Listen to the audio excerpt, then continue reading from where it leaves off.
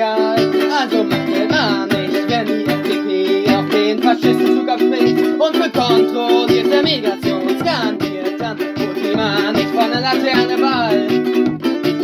Wär ja illegal, ich hab gehört den Tegel, da hängt die AfD-Plakate auf gleich Höhe, Kater mal hin, aber holt die mal nicht runter, dabei wär ja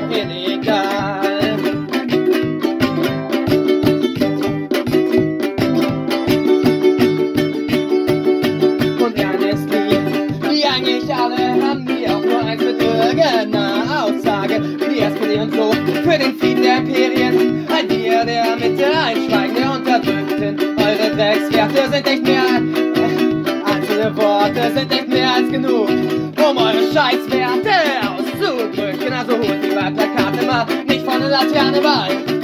Wär ja illegal, also lasst die Wahlplakate mal alle da oben, weil irgendwie da was zu ändern. Wäre ja schon verboten, hab ich gehört.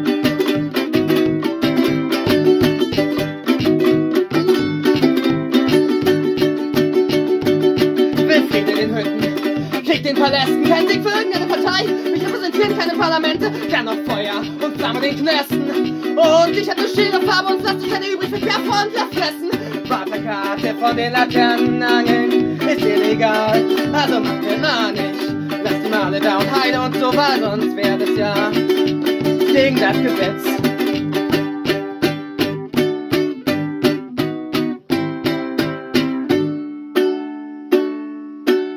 Weil du hast die Wahl. Was mit Nazi-Propaganda an deiner Straße passiert. Der Stecken zugestickert, geklaut und nach dem Wahl wieder zurückgehangen, aber da hört dann auch ungefähr schon auf.